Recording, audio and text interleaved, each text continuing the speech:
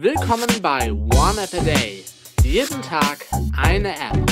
iOS, Mac, Android, Windows Phone 7, Memo und mehr.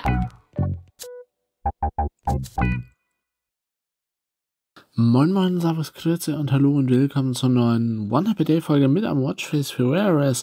Einem Watchface von 69 Design oder 69 Design, das Watchface V2081 Digital Watchface.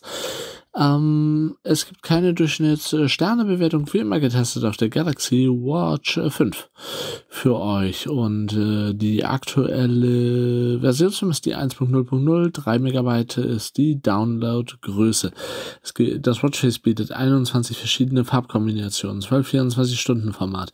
Schritte werden angezeigt, Bat Batterie wird angezeigt, Datum, Kompli es gibt drei verschiedene Komplikationen, genau, drei Komplikationen könnt ihr einstellen.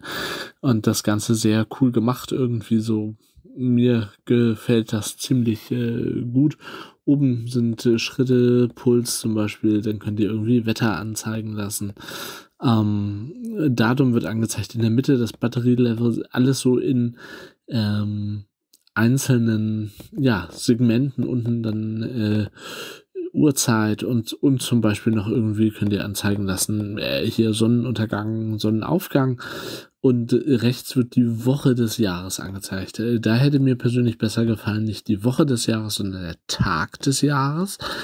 Ähm, sehr hilfreich, wenn man ein Foto 365 macht und äh, nicht gucken will, äh, sondern gleich auf einen Blick sehen will, welcher Tag des Jahres denn ist. Also ne, nicht das Datum des Monats, sondern eben Tag, was weiß ich, 180, 256, äh, keine Ahnung, ihr versteht, was ich meine.